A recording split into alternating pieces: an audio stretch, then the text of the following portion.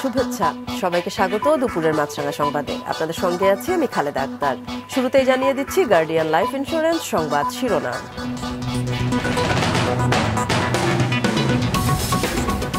জ্বালানি তেলের দাম বাড়ানোর প্রতিবাদে দেশজুড়ে চলছে বাস, ট্রাক, ধর্মঘট। জনদুর্ভোগ চরমে প্রত্যাহারের আহ্বান ওবায়দুল কাদেরের।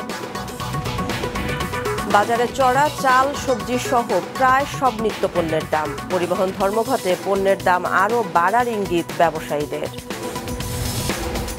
রাজধানী সোয়ারিঘাটের জুতার কারখানায় মধ্যরাতের অগ্নিকাণ্ডে পাঁচ শ্রমিকের মৃত্যু। ঘুমন্ত অবস্থায় শ্বাসরোধ হয়ে মৃত্যু, বলছে ফায়ার সার্ভিস।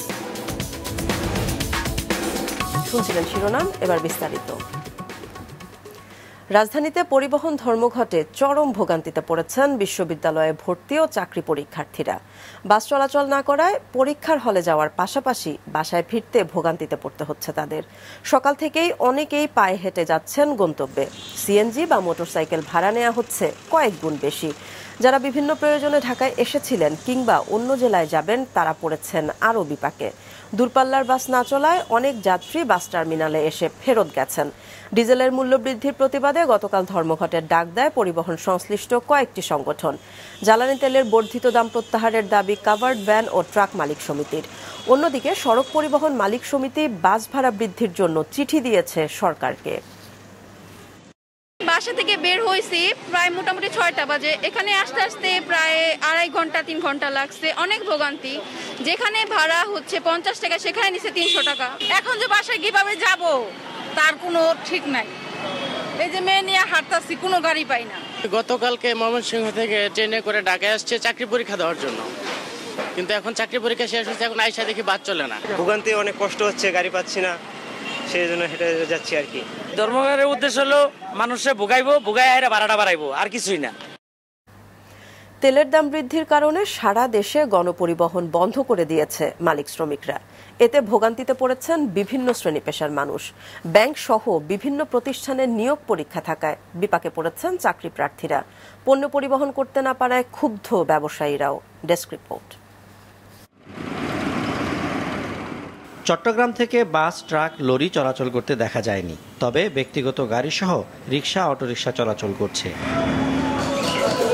বরিশালের রূপাতলি ও নথুল্লাবাদ টার্মিনালে ভোর থেকে বাস চলাচল করছে না এবং অলস বসে আছে পণ্য পরিবহনের ট্রাক, লরিও। খুলনা থেকে যে বাইশটি রুটে বাস চলাচল করে, সেগুলোতেও আজ ভোর থেকে বাস চলাচল বন্ধ রয়েছে।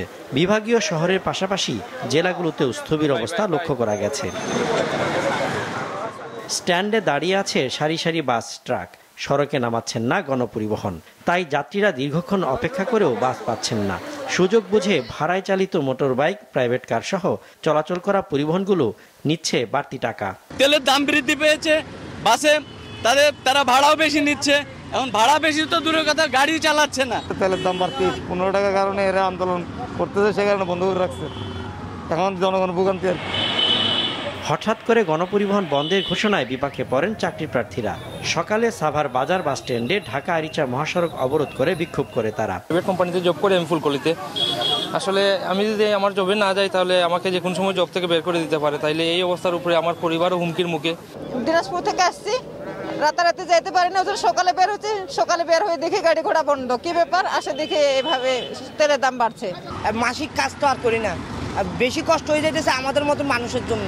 হঠাৎ করে আজকে সকালবেলা জলঢাকা থেকে রংপুর পর্যন্ত আসার পর এখানে গাড়ি নেই। এনারা এরকম কাজ করবে আগে যদি নিউজটা দিত তাহলে তো আমরা বাসা থেকে বেরোতাম না। বিভিন্ন কাউন্টার থেকে চলাচলকারী দূরপাল্লা রুটের যাত্রীবাহী বাসও চলছে না। আপনি হঠাৎ করে রাত্রে বারোটার সময় ডিক্লেয়ার দিলেন সকালবেলা আশি টাকা করবেন রাত্রে বারোটা থেকে আশি টাকা লিটার তেল। তাহলে এই যে আশি টাকা তেলের লিটার তেল দিলেন তাহলে আমরা যে মাল বললাম গাড়িতে বিশ হাজার টাকা ভাড়া তাহলে এই যে আশি টাকার তেল ভরার পর আমার তো কোনো কেস নেই। মালিক পক্ষ থেকে বলছে যে সরকার তেলের দাম বাড়াইছে আমাদের পোষাচ্ছে না আমরা গাড়ি চালাবো না।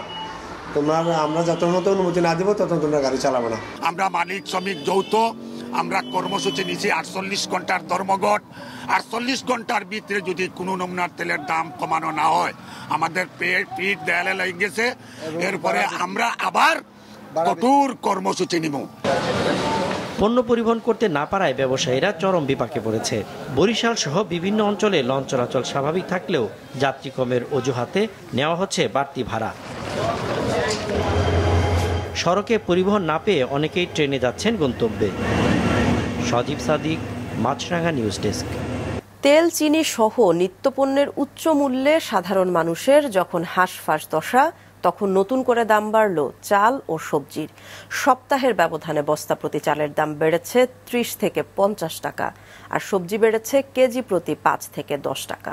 যানবাহন ধর্মঘটের অজুহাতে পণ্যের দাম আরও বাড়ার ইঙ্গিত দিয়েছেন ব্যবসায়ীরা। শীতের সবজির মধ্যে অন্যতম ফুলকপি, বাঁধাকপি। বাজারে শোভা ছড়ালেও দাম বেশ চড়া। রাজধানীর মহাখালী বাজারে এক একটি ফুলকপি বিক্রি হচ্ছে চল্লিশ থেকে পঞ্চাশ টাকায়। কারওয়ান বাজারে যা আকার ভেদে বিশ থেকে পঁয়তাল্লিশ টাকা। উচ্চ মূল্যে বিক্রি হচ্ছে বাঁধাকপিও। শিম সহ অন্যান্য সবজির দামও চড়া। শীতকালীন একেবারে সব ধরনের তাজা তাজা সবজি আছে কিন্তু উদ- উদ্যোগতি। উদ্যোগতি বলতে এত উদ্যোগতি যে যেটা চিন্তাই করা যায় না। আপনি সাধারণ সিম সিমের দাম হচ্ছে বর্তমান বাজারে আজকে একশো বিশ টাকা। এটা একটা কপি ধরেন দশ টাকা বেশি এক কেজি। এমন জিনিস এক কেজি বিশ টাকা বেশি। আনতে তো আমি তো দোকানদারি করলে আনতে হবে না। গাড়ি ভাড়া যদি বেশি হয় তাহলে দাম মালের দামের উপর পড়ে দেবো ওই হিসাবে দাম বেশি হইতে পারে। উচ্চ মূল্যের বাজারে নতুন করে দাম বেড়েছে চালের। ব্যবসায়ীরা জানান ধরন ভেদে বস্তা প্রতি চালের দাম বেড়েছে ত্রিশ থেকে পঞ্চাশ টাকা। ভারত থেকে চাল আমদানি বন্ধ হওয়াকে কারণ হিসেবে উল্লেখ করেন তারা। এক দুই সপ্তাহের মধ্যে এখন সব চালের দামই বিশ পঞ্চাশ টাকা বাড়ছে বস্তা বস্তাপতি সামনে নতুন সিজন উঠবো। আর নতুন সিজন যদি চাল বাজার আসে, যদি দাম কমে আর নাহলে এখন কমার সম্ভাবনা দেখছি। এখন সামনের দিকে চালের বাজার বাড়বে, কমবে না। যেহেতু আমরা তেল প্রতি লিটারে পনেরো টাকা বাড়ছে, তো এটাকে আবার দেখা গেছে, ওদিকে খাটতে যাইয়ে দেখা গেছে, ভাড়া খরচ হিসাবে চালের বাজার আরও দেখা গেছে, দু চার টাকা বাড়িয়ে দিবে। আগের মতোই উচ্চমূল্য নিত্য প্রয়োজনীয় পণ্যের বাজারে। প্রতি লিটার খোলা সয়াবিনের দাম একশো চল্লিশ থেকে একশো পঁয়তাল্লিশ টাকা। বোতলজাত সয়াবিনের লিটার একশো পঞ্চাশ থেকে একশো ষাট টাকা। ইমতিয়াজ হাসান, মাছরাঙা সংবাদ, ঢাকা।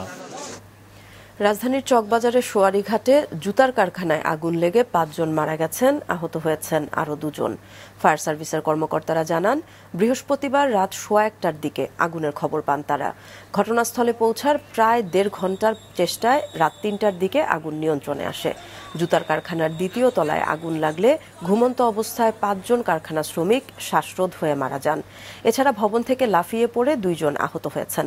ফায়ার সার্ভিস মরদেহ এবং আহতদের উদ্ধার করে স্যার সলিমুল্লাহ মেডিকেল কলেজ হাসপাতালে পাঠায়। আগুনের সূত্রপাত এবং ক্ষয়ক্ষতির পরিমাণ এখনও নিরূপণ করা সম্ভব হয়নি।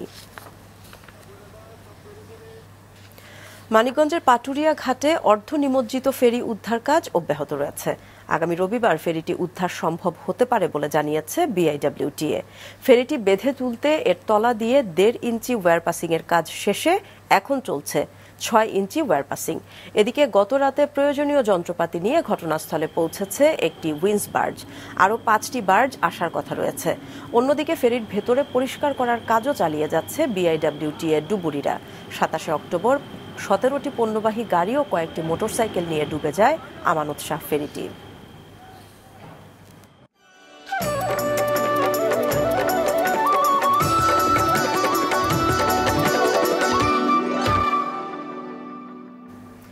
গাজীপুরে একসময় মাটির ঘর ছিল আর্থিক সঙ্গতি ও সামাজিক প্রতিপত্তির প্রতীক।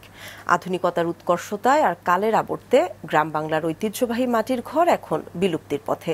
যে দু একটি আছে, সেগুলো রক্ষার দাবি সচেতন মানুষদের। গাজীপুর থেকে ফারদিন ফেরদৌসের তথ্য ও ছবিতে ডেস্ক রিপোর্ট। গাজীপুরের কাপাসিয়ার দরদরিয়া গ্রামে মহান মুক্তিযুদ্ধের অন্যতম সংগঠক, দেশের প্রথম প্রধানমন্ত্রী তাজউদ্দিন আহমেদের বাড়ি। দৃষ্টিনন্দন দোতলা এই বাড়ি মাটি দিয়ে তৈরি। শোবার ঘর, বৈঠকখানা, ঝুল বারান্দা, সবই মাটির। প্রতিদিনই দূর দূরান্ত থেকে দর্শনার্থীরা আসেন অপরূপ এই স্থাপত্য দেখতে। উনি যখন ছিল, এই শীতলক্ষা নদীতে মাছ মারত, এই মাটির ঘরে শুয়া, উনি জানলা খুইলা, যে প্রাকৃতিক যে আবহাওয়া এটা উপভোগ করতে পারছে। বাড়িটা স্মৃতি হিসাবে রয়েছে এটা আমাদের জন্য আমার গর্বের বিষয়। উনি চাইলে কিন্তু অনেক কিছু করতে পারতেন কি- কিন্তু এই ঐতিহ্যটা উনি লালন করেছেন। উপকরণের সহজলভ্যতা ও শ্রমিক খরচ কম হওয়ায় এ অঞ্চলে বহুকাল আগে থেকেই মাটির ঘরের প্রচলন। কাদামাটির মণ্ড দিয়ে বানানো হয় দুই তিন ফুট চওড়া দেয়াল। শীত বা গরম উভয় ঋতুতেই বেশ আরামদায়ক মাটির ঘর। আর্থিক সঙ্গতি ও সামাজিক অবস্থানের উপর ভিত্তি করে একতলা বা দোতলা হয়ে থাকে এসব ঘর। এক একটি ঘর তৈরি করতে সময় লাগে দেড় থেকে দু মাস। এটা পরিবেশ বান্ধব। এটা সহজেই করা যায়। খরচ কম হয় এবং এটা লেপ দেওয়া বা কিছু এই কারুকাজ করে রাখলে এটা আরও ঐতিহ্যটা বৃদ্ধি পাবে এবং এটা আরও স্থায়িত্ব বাড়বে। একসময় শৌখিন গৃহিণীরা দেয়ালে বিভিন্ন রকমের আলপনা আঁকতেন। ইট কংক্রিটের এই সময়ে মাটির ঘরের কারিগর গেছে কমে। গ্রাম বাংলার ঐতিহ্যবাহী মাটির ঘর সংরক্ষণের দাবি সংস্কৃতি সেবীদের। কাপাসিয়ার মাটি হচ্ছে এঁটেল মাটি লাল মাটি। এই মাটি আসলে মাটির ঘর তৈরির জন্য খুবই উপযোগী এবং এই মাটি দিয়ে ঘর করলে কয়েকশো বছর কিন্তু লাস্টিং করে। এই ঘরগুলি টিকিয়ে রাখার জন্য আমি সরকারি পদক্ষেপ জরুরি মনে করি। ঐতিহ্য টিকিয়ে রাখার উপর জোর দেন জেলা প্রশাসকও। শিক্ষা সম্পন্ন। তারা কিন্তু এগুলোকে সংরক্ষণ করছে তবে সেটার সংখ্যা কিন্তু খুবই কম। তো আমরা আশা করব যে এইসব মানুষগুলো যেন এই ঘরগুলোকে একটু সংরক্ষণ করে কারণ এটি আমাদের ঐতিহ্যের একটি অংশ। বাবার স্মৃতি বিজড়িত বাড়িটিতে জাদুঘর ও গ্রন্থাগার প্রতিষ্ঠার পরিকল্পনা জানান গাজীপুর চার আসনের সংসদ সদস্য সিমিন হোসেন রিমি। এই ঘরটাতে ওনার জন্ম ওনার ভাইয়ের জন্ম সবার জন্ম। এই জন্য পরে আম্মা ওই পাশটা দিয়ে কোনো রকম পিলার দিয়ে ওটাকে রক্ষা করার ব্যবস্থা করেন। তো তারপর থেকে আমরা একই রকম রেখে দিয়েছি, যে একেবারে যেমন ছিল তেমনই। এখানে আমাদের ভবিষ্যতে পরিকল্পনা আছে, একটা জাদুঘরের মতো হবে, পাঠাগার করব। তো পাঠাগারের জন্য আমি ওখানে আমি মাটি দিয়ে করব। সংরক্ষণ না করা হলে মাটির ঘরও একদিন ঠাঁই নেবে ইতিহাসের পাতায়। হারিয়ে যাবে এর শেষ চিহ্নটিও। আশঙ্কা, ইতিহাস ও ঐতিহ্য অনুরাগীদের। Maasranga news desk. আনুষ্ঠানিকভাবে উদ্বোধন হলো তিন দিনব্যাপী Daffodil captain club golf tournament. সন্ধ্যায় বর্ণাঢ্য আয়োজনের মাধ্যমে বিজয়ীদের হাতে তুলে দেয়া হবে পুরস্কার। সকালে কুর্মিটোলা গলফ কোর্সে আসরের উদ্বোধন করেন বাংলাদেশ সেনাবাহিনী প্রধান এবং কুর্মিটোলা গলফ ক্লাবের president general S M Shafiuddin Ahmed. এ সময় উপস্থিত ছিলেন কুর্মিটোলা গলফ ক্লাবের ভাইস প্রেসিডেন্ট ও area commander major general Zahirul Islam সহ ক্লাবের অন্যান্যরা। মাঠের খেলা শুরু হয় তেসরা নভেম্বর। এবারের আসরে অংশ নিয়েছেন পাঁচশোরও বেশি অ্যামেচার গলফার দুপুরে সংবাদ শেষ করার আগে গার্ডিয়ান লাইফ ইন্স্যুরেন্স সংবাদ শিরোনামগুলো আরও একবার। জ্বালানি তেলের দাম বাড়ানোর প্রতিবাদে দেশজুড়ে চলছে বাস, ট্রাক, ধর্মঘট। জনদুর্ভোগ চরমে প্রত্যাহারের আহ্বান ওবায়দুল কাদেরের। বাজারে চড়া, চাল, সবজি সহ প্রায় সব নিত্যপণ্যের দাম। পরিবহন ধর্মঘটে পণ্যের দাম আরও বাড়ার ইঙ্গিত ব্যবসায়ীদের। রাজধানী সোয়ারিঘাটে জুতার কারখানায় মধ্যরাতের অগ্নিকাণ্ডে পাঁচ শ্রমিকের মৃত্যু, ঘুমন্ত অবস্থায় শ্বাসরোধ হয়ে মৃত্যু, বলছে ফায়ার সার্ভিস। দর্শক, এই ছিল এখনকার মতো। ফেসবুকে আপডেট পেতে ভিজিট করুন মাছরাঙা টেলিভিশনের পেজে। ইউটিউব চ্যানেলেও যে কোনো সময় দেখতে পারেন আমাদের সংবাদ, প্রতিবেদন ও অনুষ্ঠান। যাবার আগে মনে করিয়ে দেই, করোনা ভাইরাস থেকে বাঁচতে টিকা নেয়াই যথেষ্ট নয়। স্বাস্থ্যবিধি মেনে চলা, বিশেষ করে মাস্ক পরার কোনো বিকল্প নেই।